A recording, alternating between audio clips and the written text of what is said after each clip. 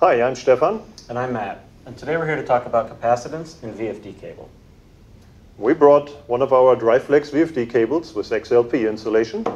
And when we talk about cable capacitance, what we mean is the ability of this cable to store an electric charge. So think of this cable like this tube here. So we have some props that will help you understand how capacitance works. This is the energy coming from your drive. So as you turn the drive on, that energy, or this blue liquid, has to fill up the hose before it's available at the motor end to turn the load. And this requires quite a bit of energy output from the drive, depending on your cable. Usually, you would solve that problem by going to a bigger drive.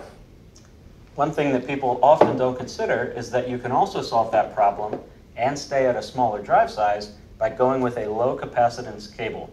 Our XLPE insulation has been shown to be four times less charging current than a PVC nylon insulation. That saves you a lot of energy on your drive output. So that is basically taking the energy and putting it right to your motor. It drastically cuts down on the energy that you lose as heat and makes your drive system much more efficient. Cheers to that.